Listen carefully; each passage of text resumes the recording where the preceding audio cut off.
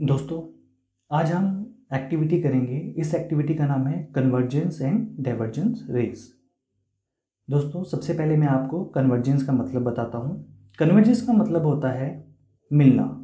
जो एक पॉइंट पर आकर मिलती हैं, उन रेस को हम कन्वर्जेंस रे बोलते हैं।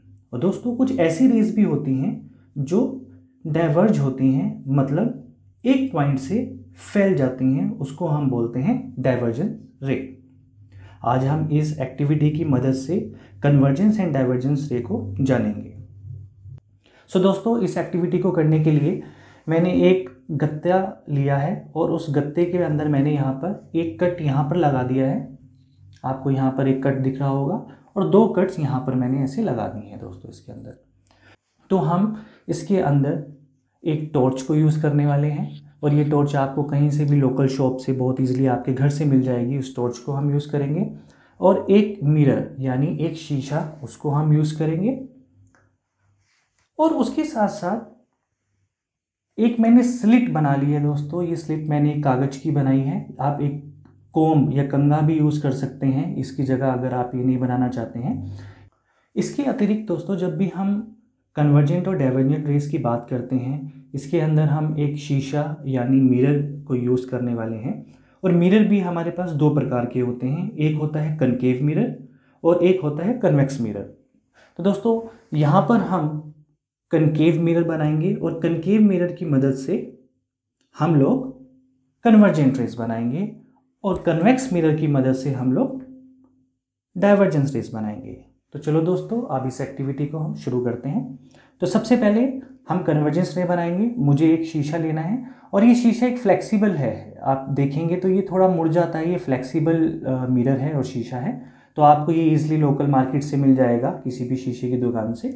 तो सबसे पहले मैं यहाँ पर कनकेव मिरर इसका बना लेता हूँ। तो इसके अंदर मुझे इसको फिट कर लेना है। तो आप यहाँ पर गत्ता भी ले सकते हैं कार्डबोर्ड भी ले सकते हैं, एक फोम की शीट भी ले सकते हैं थर्मोकोल भी ले सकते हैं और आप एक ऐसा एक इंस्ट्रूमेंट बना सकते हैं।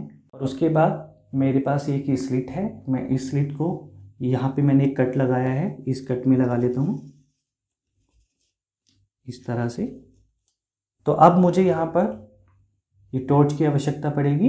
मैं इस टॉर्च के आगे से इस कवर को हटा देता हूँ ताकि ज़्यादा से ज़्यादा रोशनी इस स्लिट में से पास हो सके।